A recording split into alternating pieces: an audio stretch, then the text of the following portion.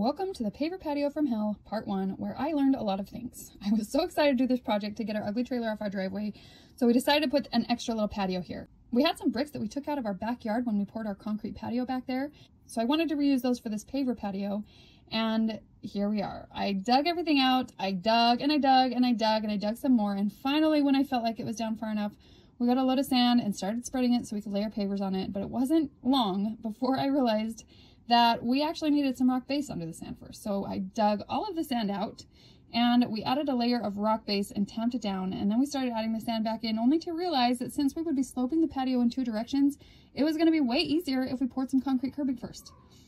That means that we would lock the pavers in from the outside, but it would also allow us to set the pavers at the right slope much easier. So we set up and poured the forms, and yes, it was late at night.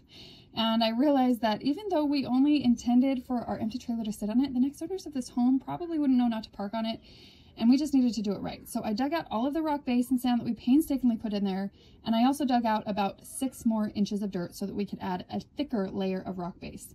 This is where we're at. Can't wait to show you the rest.